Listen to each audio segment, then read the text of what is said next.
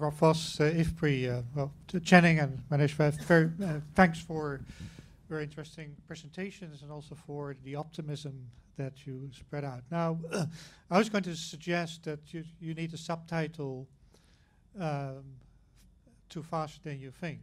Uh, I would say it's faster than you think, but not fast enough. And the question is, well, what needs to happen to make it faster? Um, so in the beginning, you mentioned this big number of almost $300 billion in investments in renewable energy, but you called it a big number, but I don't think that's such a big number, right? I think every year is more than $500 billion spent on energy subsidies, most for fossil fuels. The total sum of um, investments in energy, if I have the numbers right, is about $2 trillion globally. So that makes it about 15%. So to make the energy transition uh, that needs to take place um, to meet climate goals uh, and so on, things need to happen a lot more fast than then. So one thing is to think about these subsidies, uh, what more can be done to put the price incentives right, not just on the side of reducing cost of renewable energy, but rising the cost of fossil fuels. That would be the other, and what, what would be the implications of that. But I guess also the other side of the coin is we need a lot more energy efficiency in order to make the, the, the whole switch to, to a new energy system. So are you still that optimistic after the counter numbers I gave you just here? Thank you, Rob. I saw another hand up right here.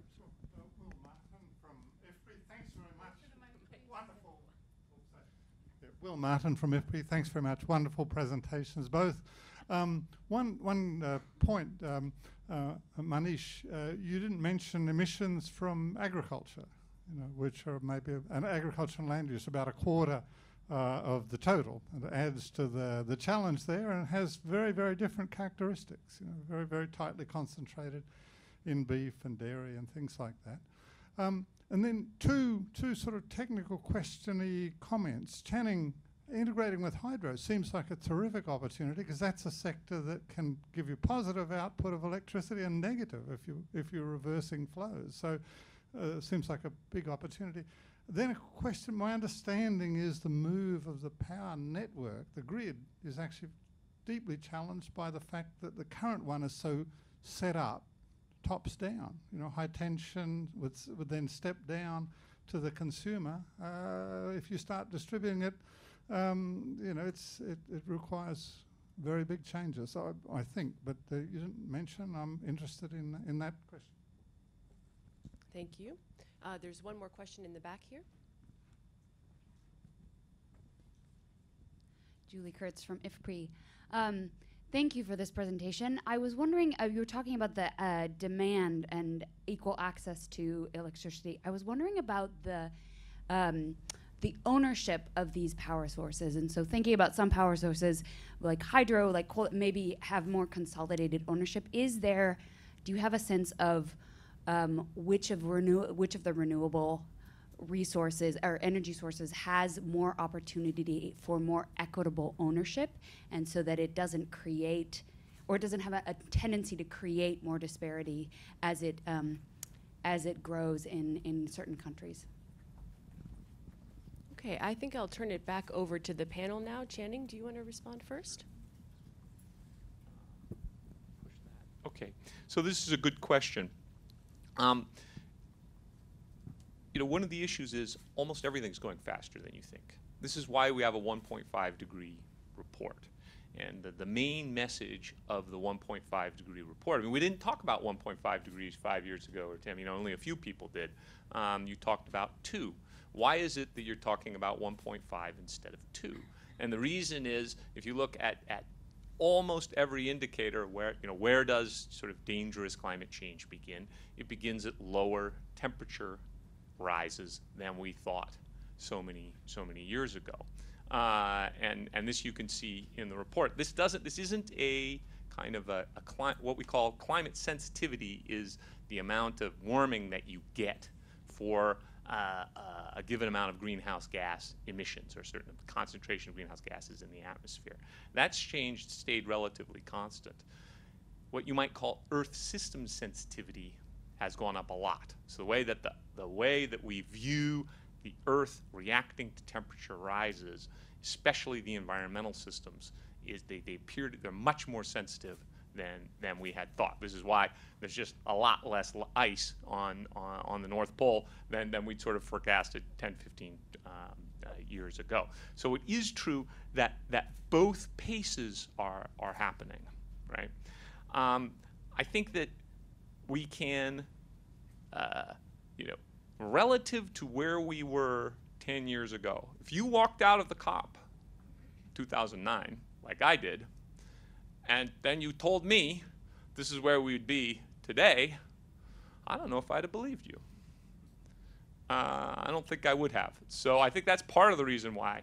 And I was looking at all this resistance in, in South Africa, all of these problems, and that has changed completely on its head. So instead of fighting the energy intensive users group, which big companies taking about 50% power demand, the energy intensive users group saying, well, we want wind and solar. It's cheaper. And in fact, if you don't provide it, we're going to leave the grid and we're just going to buy our own and use it our, ourselves. That's a different world, and it's a lot to work with, right?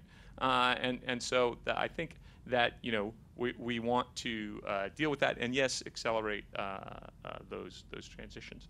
Um, I'll, I'll touch on the others, and then let you. Okay. Uh, emissions from agriculture. I, I, I've given a talk, and it's a different talk, and I think, but but it's true.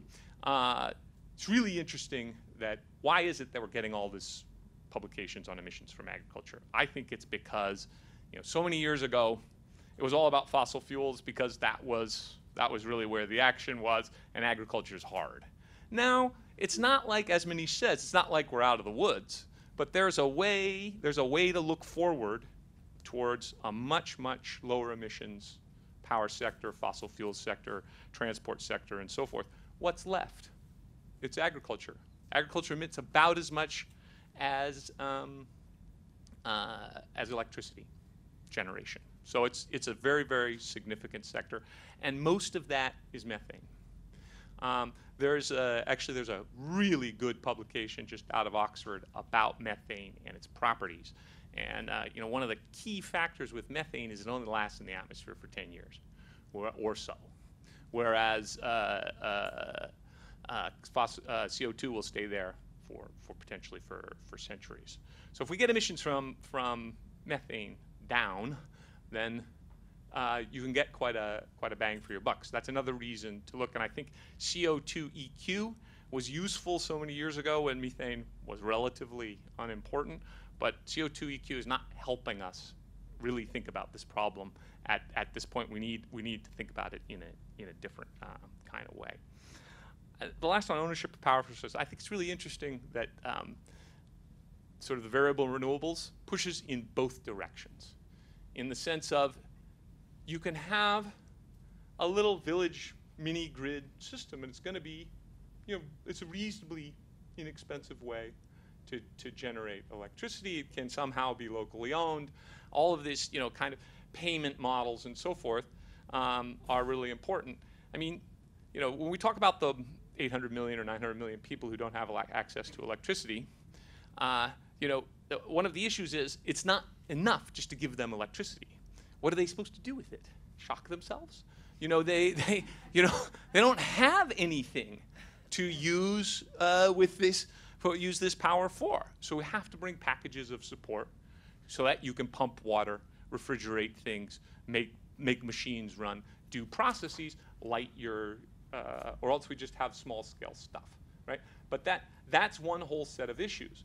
It also makes things bigger, like I showed of those wind turbines and the fact that you want, uh, you want power generated for your big scale demands in cities generated over large pieces of space and, and, and transmission.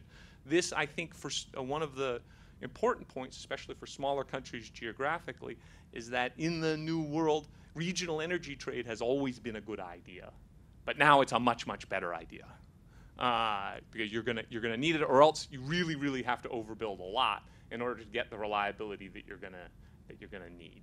Uh, whereas if you could, if you're Malawi, You can do it, but it's going to be expensive. But if you're part of a really effective Southern African power pool, it's going to be it's going to be a lot better. Great, thank you. Um, So, so, so on, the- on the first question, it, it, it reminds me of this image of kind of a, a dog chasing a bus, right? We're, we're, the dog, uh, kind of the renewables, kind of low carbon, clean energy. We're making some progress, but the bus seems to be going further and further ahead.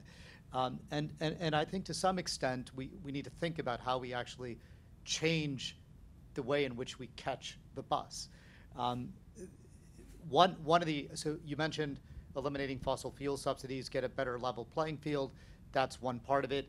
Um, thinking about carbon pricing, right? Carbon pricing, getting, getting, getting honest prices so you can actually have a level playing field when different energy sources are competing is a huge piece of the conversation. And carbon pricing is really picking up momentum. We now have 46 countries, 25 subnational jurisdictions that have or intend to put in place carbon pricing within by 2020. The biggest one, of course, is China, which will be rolling out something for the power sector and then extending it beyond the power sector in the coming years. It begins to help create the right incentives to do so. Another, another big push, air pollution. We all know the challenge of air pollution in many parts around the world, but particularly in developing Asia and soon to be developing Africa when you actually so so a lot of the shifts towards more public transit how you design cities much less what kind of energy sources you actually generate or, or develop um, air clean air is a big part of the motivation right climate may be a co-benefit but there's a lot of other things one can do that are good for ec- economics good for quality of life with climate as a co-benefit that will also further accelerate this effort. But you're absolutely right to point uh, to point out this challenge. I do think we see um, since Paris, we we are seeing more challenges politically in terms of clearly the leadership on climate globally is not where it was three years ago. I was in China last year uh, last week speaking with, uh, with their climate minister, with a number of their energy minister, about whether or not China would be willing to enhance or update their NDC, their national climate commitment, in advance of 2020. For those of you following the climate conversations, you know this is a pretty important moment to see if we can get greater ambition. And you take something like the trade tensions, concerns in China that the United States is going to shut off the oil, and it forces them to think about coal to oil. It forces them to think about where else are we going to be able to ensure energy security and how ambitious do we want to be with our clean energy commitments internationally in this geopolitical moment. At a time when they're developing their 14th five year plan and putting in the metrics for what success would look like. So there are, there are real geopolitical challenges, but there are some bright spots. Um, we're not where we need to be, so you, you are right in raising that. Um, quickly on, on ag. So ag is about direct and indirect. So methane, a big piece of it, but the other big piece of it is the indirect land use impacts on forests, 25% in total. We have a, a major piece of research that we've spent six years working on, our World Resources Report, that's going to be launched uh, in, in, in a few weeks. Um, that is exploring precisely this question in, in an extensive amount of detail. Um, but the basic kind of argument, as you uh, feel kind of odd saying this at IFPRI since you guys know this much better than I do, but um, we need to increase the number of calories 60%, right, by 2050. Uh, we um, we uh, have to uh, yield productivity increases have to be comparable, if not greater, than the Green Revolution, and this all has to happen without any additional land expansion. How are we going to make that work, right? And a couple of things that come to our kind of mind, and we have a menu of solutions of what needs to be done. There's no silver bullet, we know that, but a big piece of it is kind of this produce and protect concept.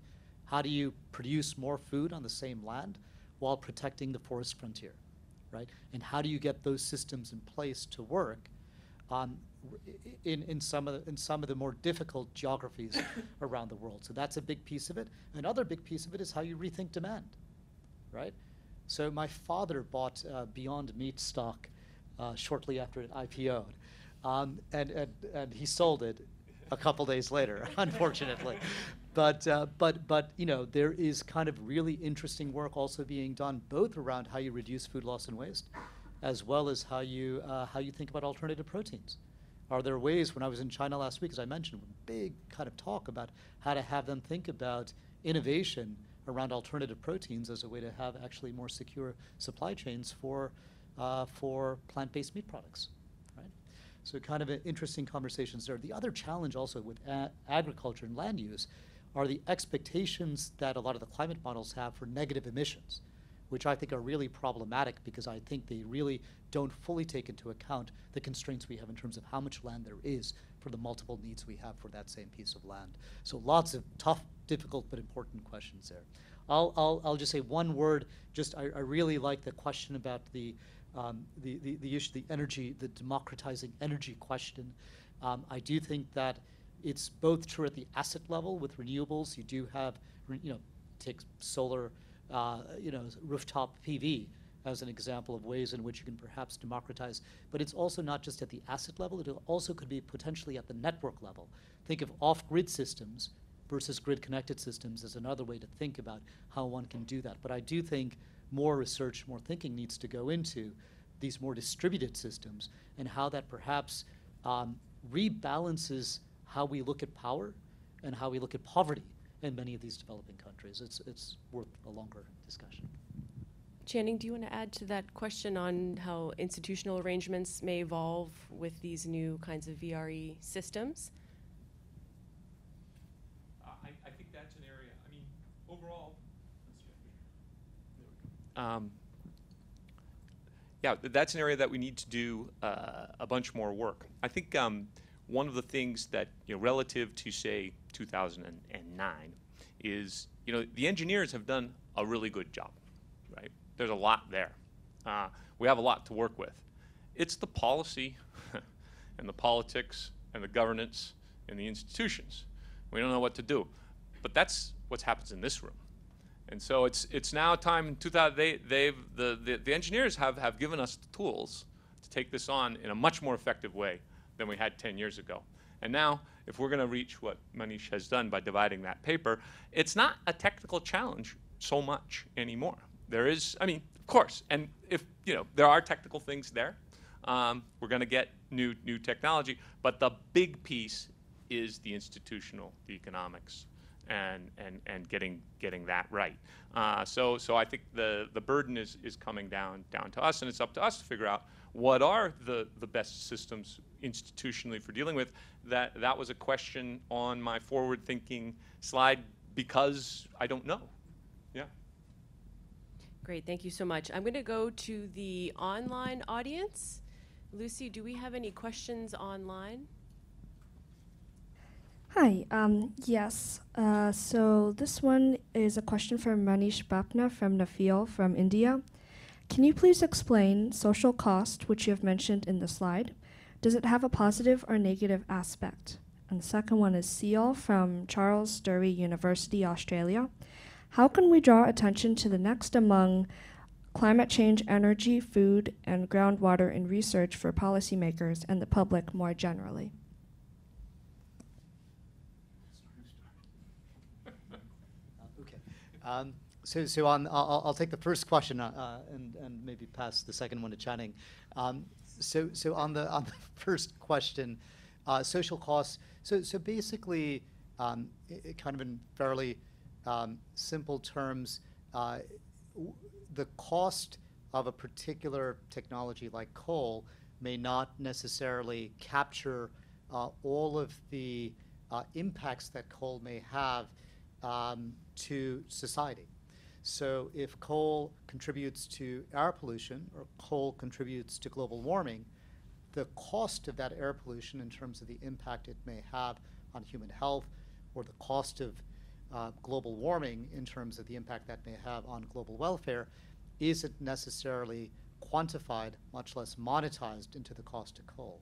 So the concept of the social cost is trying to bring some of those externalities, some of those external impacts, and internalizing them so we can have a better basis in which to make decisions that can maximize social welfare or economic growth.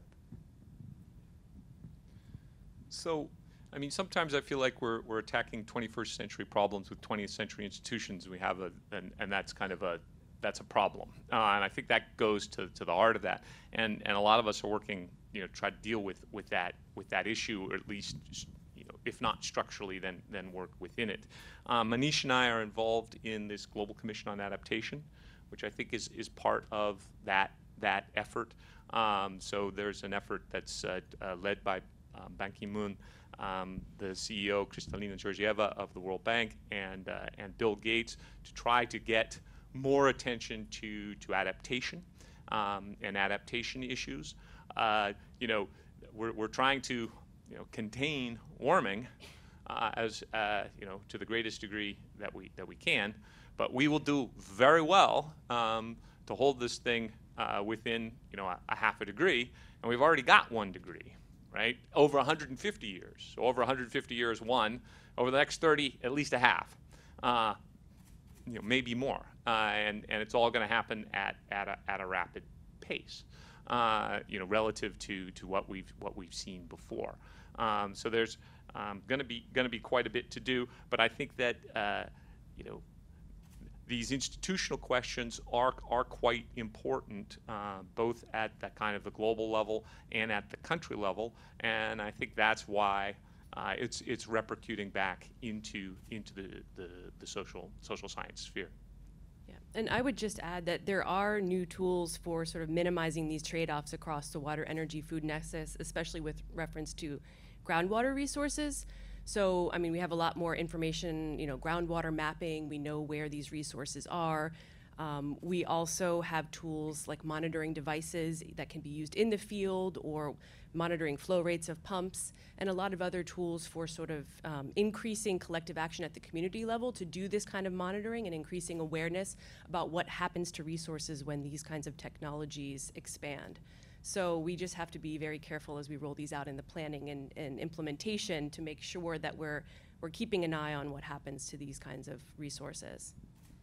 Um, I'll go back to the audience now for some questions here in the front.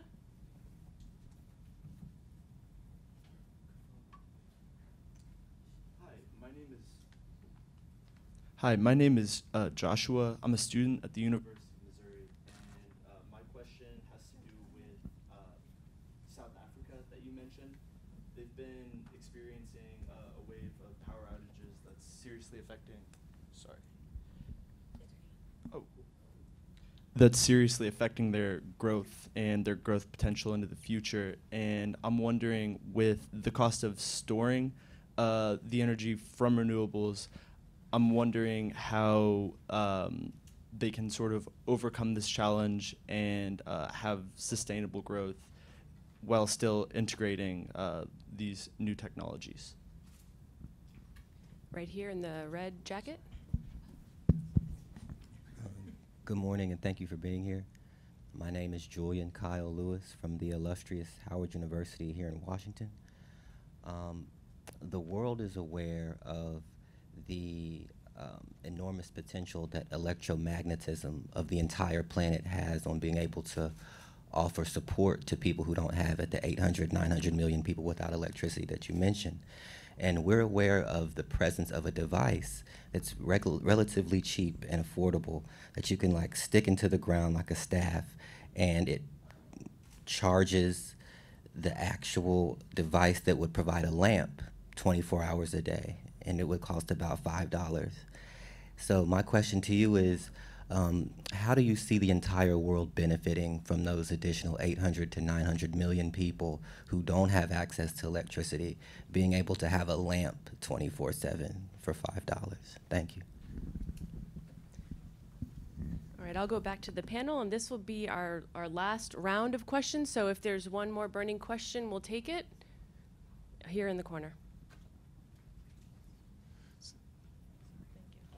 Um, hi, my question is for Manish Bapna.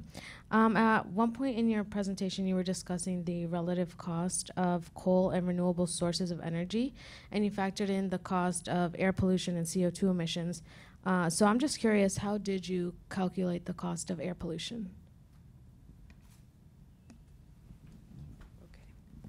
So, so I, I love the question on, on South Africa. So, um,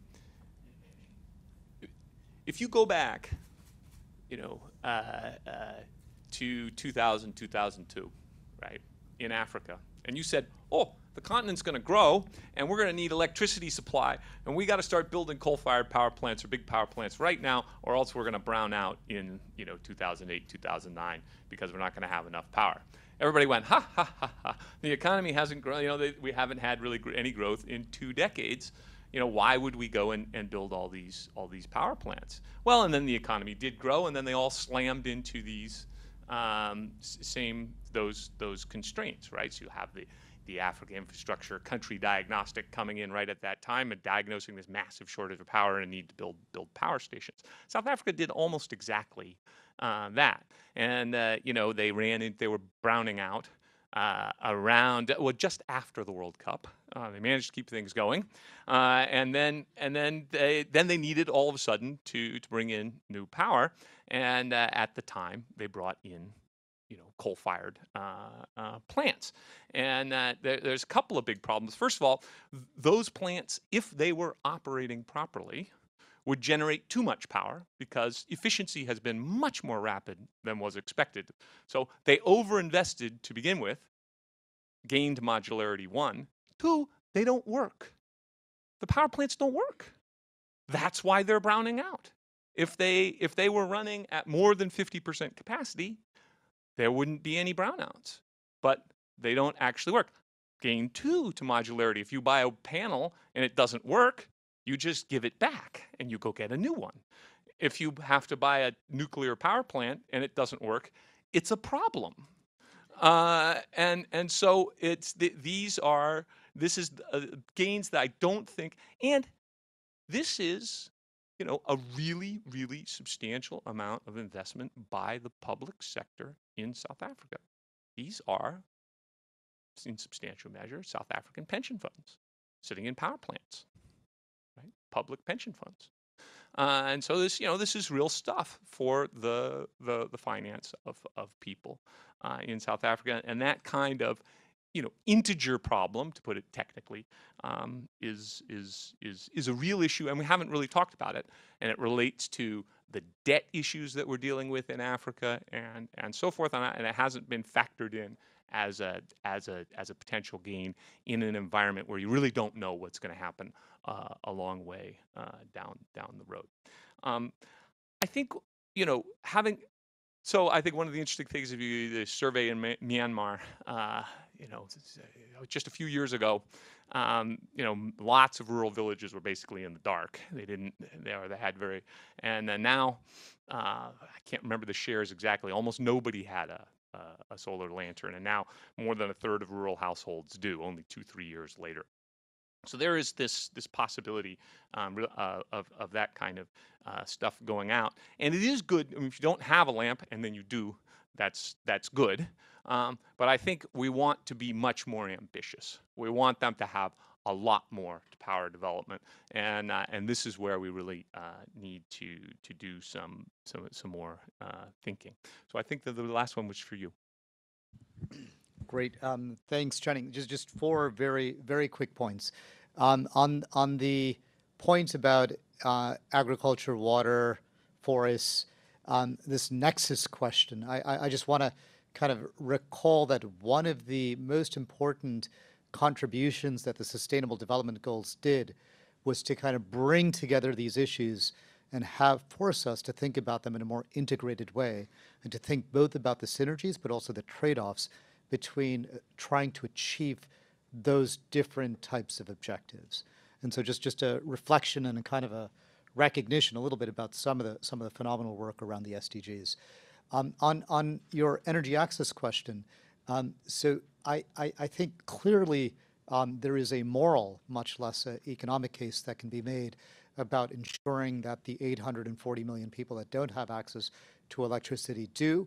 But I would argue that more than just lighting a bulb, one of the big things that we've seen over the past 10 years is a recognition that a connection isn't sufficient. It isn't sufficient just to light a bulb. The World Bank has this multi tier framework, tier one through tier five, that talks about different levels of um, quality and reliability of electricity or energy supply. That is where we should be moving toward. So it's not just about having a connection, it's about having sufficient reliable power to for basic household and productive use in a in a particular place. And we just just want us to continue to push that as the ultimate objective where we need to achieve not just a connection, which I suspect you would agree with 100%. Um, third, real quick point about air pollution, uh, Indonesia, and how we calculated that. Just very simply, uh, the WHO, many others, do studies that help us develop the relationship between air pollution and mortality and morbidity. So, what are the impacts it has on human health? And then, um, and then our eco- economics friends um, put a price on life and, and, and disability. We have an acronym for it.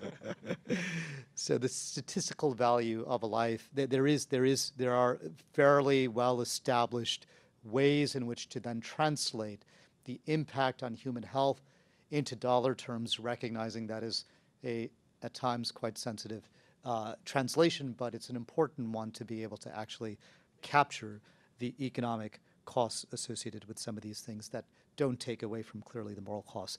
Fourth uh, point, I just wanted to thank Channing for the plug for the Global Commission on Adaptation. It is it is a big deal. It's going to have a big report. It's going to come out on September 10th, two weeks before the UNSG's climate summit. Um, a bigger technical report will be coming out in December at the Climate COP.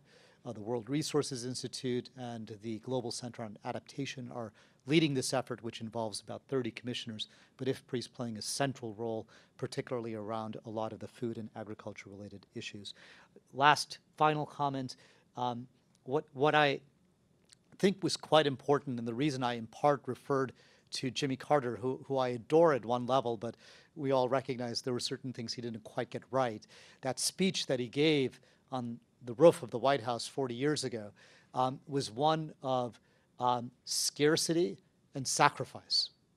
And I think that was we, a mistake because I think the narrative around renewables is one about clean air, about quality of life, about democratic energy, about jobs, about growth, and, and also about climate, right?